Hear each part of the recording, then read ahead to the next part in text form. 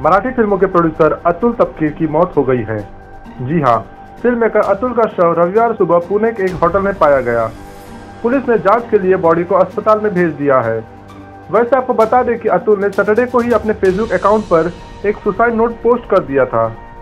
Letter से ये साफ़ ज़ाहिर है कि अतुल की वाइफ उन्हें काफ़ी परेशान करती थी और अतुल खुद भी अपनी फ़िल्म ढोल ताशे से हुए नुकसान के कारण काफ़ी टेंशन में रहते थे। आप खुद ही देखिए उनका सुसाइड नोट।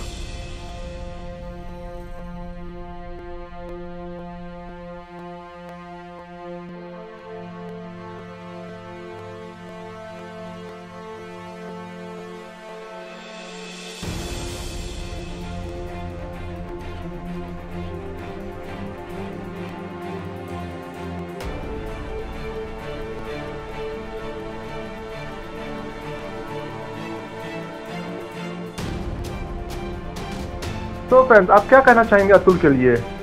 कमेंट करें और हमें बताएँ। देश और दुनिया की और भी खबरों के लिए सब्सक्राइब करें गपशप तो।